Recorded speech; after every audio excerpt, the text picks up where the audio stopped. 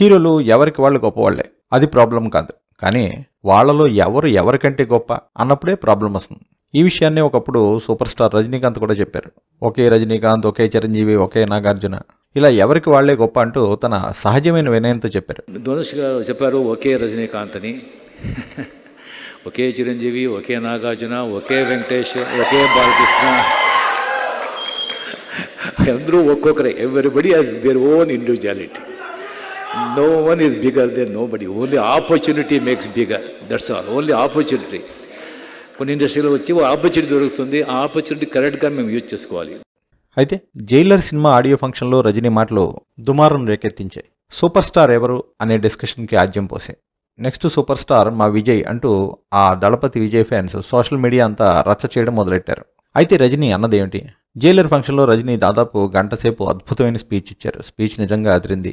Speech పొడవున జనం చప్పట్లు కొడుతూనే ఉన్నారు. మధ్యలో ఆయన కాకి గద్ద కథ చెప్పారు ఎత్తులు ఎగరడం గురించి మాట్లాడారు పాలిటిక్స్ గురించి ఇండైరెక్ట్గా చెప్పారు అలాగే తన డైరెక్టర్స్ని కో స్టార్స్ని ఎప్పట్లాగే పొగిడారు.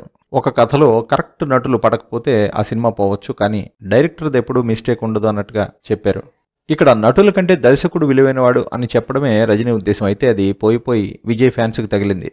దీనికి కారణం లేకపోలేదు. జైలర్ సినిమా తీసిన నెల్సన్ దిలీప్ కుమార్ ఇంతకు ముందే విజయ్తో బీస్ట్ అనే మూవీ తీశాడు. అది కాస్త పోయింది. మరి ఓ పక్క రజనీ పాలిటిక్స్ విరమించుకోవడం విజయ్ పాలిటిక్స్లోకి రావడం ఇలాంటివన్నీ కలిసి కలగలిసి లేనిపోని ఊహలతో మిక్స్ అయ్యి ఫ్యాన్స్లో గొడవలకి కారణమయ్యాయి. అసలే ఆ మధ్య మన దిల్ రాజు ఆ వారసుడు మూవీ టైంలో తెలిసి తెలియక మాట్లాడాడు. ఆడియో రిలీజ్ ఫంక్షన్కు వంద అనే వరకు. నండ్రి నండ్రి ఫైట్ தாண்டி ఫైట్ வேணுமா Vijay sir body language scenes వేణుమా అది ఇరుకు.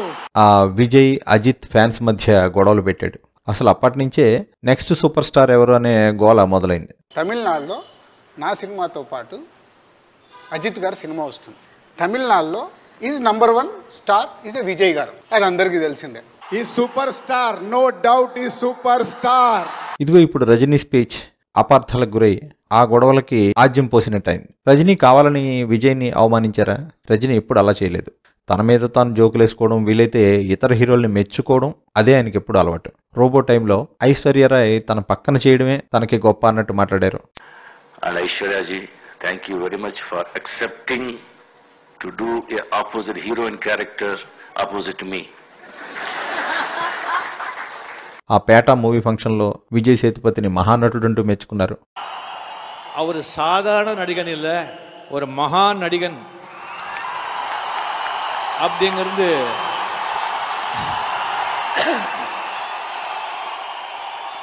అలాగే శశికుమార్ లాంటి మంచివాళ్ళు చాలా తక్కువ మంది ఉంటారని పొగిడారు అది రజనీకాంత్ నేచర్ நான் ஒன்று மட்டும் சொல்கிறேன் சசிகுமார் கிட்ட சரி அவரை பற்றி நான் இத்தனை நாற்பத்தி மூணு நாற்பத்தி நாலு ஆண்டுகள் இந்த சினிமா வாழ்க்கையில் ஒரு ரெண்டு மூணு நல்ல மனிதர் தங்கமான மனிதர் இந்த மாதிரி கிடைக்குமா அப்படின்னு பார்த்ததுல வந்து சசிகுமார் ஒருத்தர் అసలు మొదట్లో కొన్ని దశాబ్దాల క్రితమే తనకి సూపర్ స్టార్ టైటిల్ ఇవ్వాలని అనుకున్నప్పుడు కమల్ హాసన్ శివాజీ గణేశన్ లాంటి వాళ్ళు ఉండగా తనకు ఆ టైటిల్ ఏంటని ఆయనే ఒప్పుకోలేదు మరి అంత గొప్పగా వినయంగా ఉండే రజని సూపర్ స్టార్డం గురించి చీప్గా మాట్లాడే ప్రసక్తే లేదు వీళ్ళు అర్థాలు తీయడమే తప్ప ఆయనకు అసలు అవసరం లేదు ఎవరు ఎన్ని చెప్పినా ఎంత రచ్చ చేసినా రజనీకాంత్ని మించిన సూపర్ స్టార్ లేడన్నది నిజం.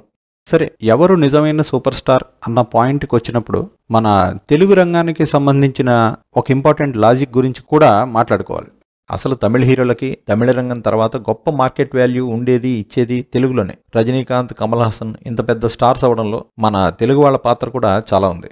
అయితే ఇక్కడ పాయింట్ ఏంటంటే తమిళ వాళ్ళందరినీ తెలుగు వాళ్ళు యాక్సెప్ట్ చేశారు. రజనీ కమల్ తర్వాత కొద్ది మందికే మన హృదయంలో చోటిచ్చాం. విక్రమ్ సూర్య ఇలాంటి కొందరు హీరోల్ని మన హీరోలే అన్నంతగా ఆదరించాం ఆదరిస్తున్నాం.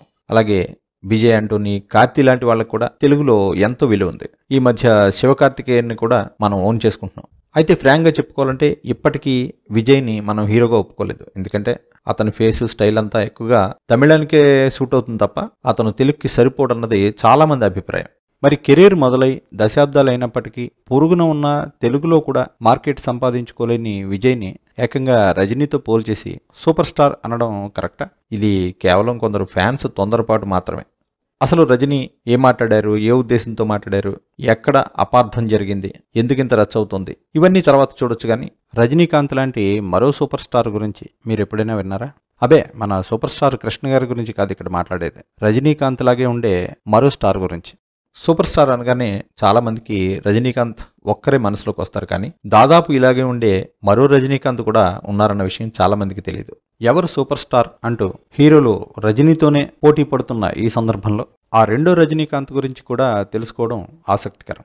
బాగా దూరం పోయాను. చాలా మందికి తెలిసిన సూపర్ స్టార్ రజనీకాంత్ ఒకరే. అయితే రోబోకి టూ పాయింట్ ఓ ఉన్నట్టు రజనీకాంత్ లాగే సూపర్ స్టార్ కావడానికి ట్రై చేసి కాలేకపోయినా రెండో రజనీకాంత్ కూడా ఉన్నాడు. ఈయనే ఆ రజనీకాంత్ టూ పాయింట్ ఓ. రజనీకాంత్లా ఉండే నళినీకాంత్. డెబ్బై దశకం చివరిలో నళినీకాంత్ సినిమాలోకి వచ్చారు కృష్ణరాజు నటించిన రంగూన్ రౌడీ తెలుగు సినిమా ద్వారా సినిమాలోకి అడుగుపెట్టారు. ఎన్టీఆర్ నటించిన శృంగారరాముడు ఏఎన్ఆర్ నటించిన దాంపత్యం తాండవ కృష్ణుడు శోభన్ బాబు నటించిన బలిదానం ఇలా చాలా సినిమాల్లో నటించారు. ఒక హీరో ఎదిగాడు అంటే ఎంతోమంది ఎదగలేకపోయారు అని కూడా అర్థం. రజనీకాంత్ నళినీకాంత్ ఒకే టైంలో తమ ప్రయాణం మొదలుపెట్టారు.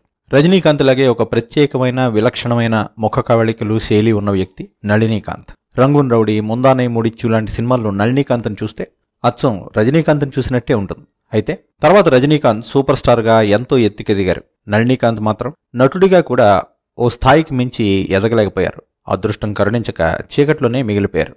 నళినీకాంత్ అసలు పేరు జయరామరాజు. రజనీకాంత్ అసలు పేరు శివాజీరావు. అప్పట్లో శివాజీరావు సినిమా వేషాల కోసం ప్రయత్నించే కాలంలోనే ఈ జయరామరాజు కూడా బాలచంద్ర దగ్గరికి వేషాల కోసం వెళ్ళేవారట. అప్పట్లో కూడా వీళ్ళ ఫేసులు ఒక్కలాగే ఉండేవి. పైగా ఇద్దరి ముఖాలు అప్పుడు పాపులర్ కాదు. దాంతో ఎవరు ఎవరో తెలియక సినిమా జనాలు కన్ఫ్యూజ్ అయ్యేవారట. ముందు రజనీకాంత్ వెళ్ళి అవకాశాల కోసం అడిగేవాడట. మళ్ళీ గంటలోనే నళినీకాంత్ వెళ్ళేవాడట. ఈసారి వచ్చింది వేరే వ్యక్తి అని తెలియక పోల్చుకోలేక అదేంటయ్యా ఇందాకనే ఇప్పుడే కదా వచ్చావు మళ్ళీ వచ్చేవేమిటి అని జయరామరాజుతో అనేవారట. లేదండి నేను అతను వేరు. అతను శివాజీరావు నేను జయరామరాజుని అని నళినీకాంత్ చెప్పుకోవాల్సి వచ్చేదట. అలాగా దాదాపు ఒకే సమయంలో కెరీర్ ప్రారంభించినప్పటికీ రజనీకాంత్ స్థాయిలో నళినీకాంత్ పైకి రాలేకపోయారు. దానికి వేరే ఒక కారణం కూడా ఉంది. జయరామరాజుది రాజవంశమట.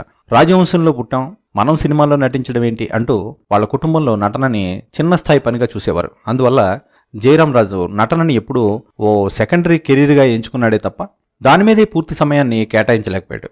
అందుకే కొంతకాలం మద్రాసు వదిలేసి సినిమా రంగం నుంచి బయటికి వెళ్ళి బెంగళూరులో ఏదో ఉద్యోగం చూసుకున్నాడు. అతను మళ్ళీ తిరిగి మద్రాసు వచ్చేటప్పటికి ఇక్కడ రజనీకాంత్ స్టార్ అయిపోయారు. ఆ తర్వాత ఆయన పోలికలతోనే ఉన్న ఈయనకి కొన్ని ఛాన్సులు వచ్చినప్పటికీ రజనీకాంత్తో ఏమాత్రం పోల్చలేని స్థితిలోనే జయరామరాజు మిగిలిపోవాల్సి వచ్చింది. తెలుగులో చిరంజీవి నరసింహరాజుల కెరీర్ కథ కూడా దాదాపు ఇలాంటిదే.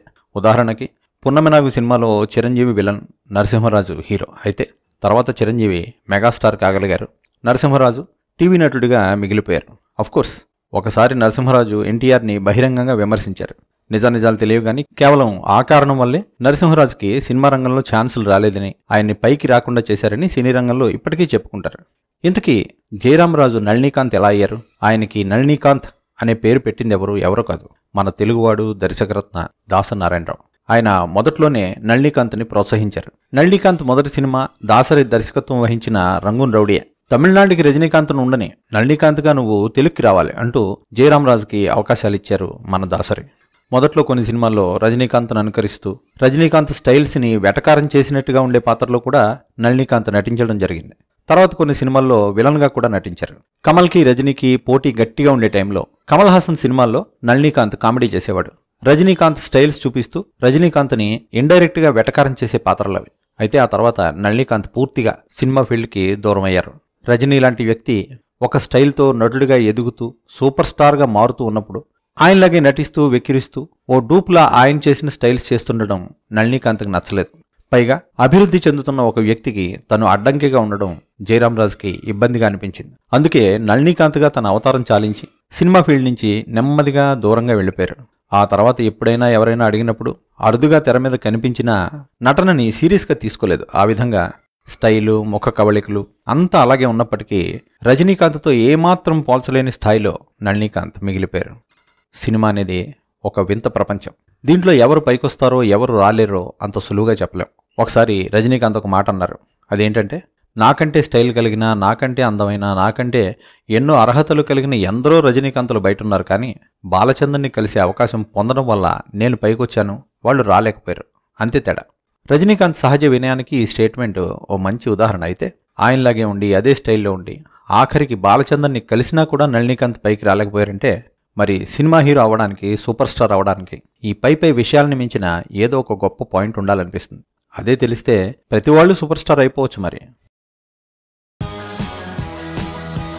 బాగా దూరం పోయాను. మరిన్ని మంచి వీడియోల కోసం సబ్స్క్రైబ్ చేయండి.